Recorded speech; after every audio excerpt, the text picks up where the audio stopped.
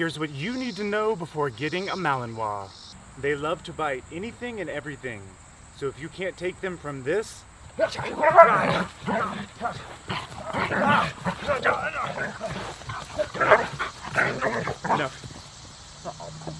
to the sweet little poop pop, in a matter of seconds, you don't need to get one.